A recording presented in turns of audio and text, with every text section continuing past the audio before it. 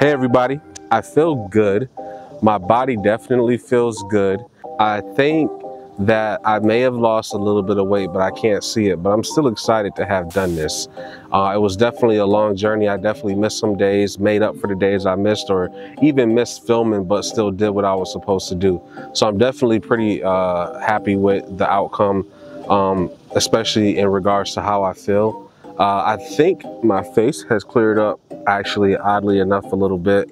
Um, I think my face slimmed down uh, just a tad bit. Remember, this is strictly motivational, nothing educational.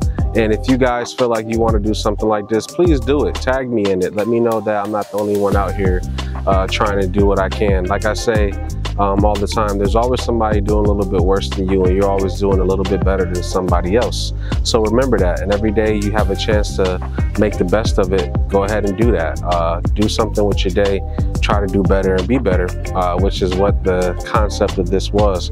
I'm pretty sure you realize there wasn't too much uh, information regarding calories, calorie trackers and weight losses and all that throughout each video. But uh, the bigger picture was just proving that you can get out, do something for a very short amount of time and feel a little bit better.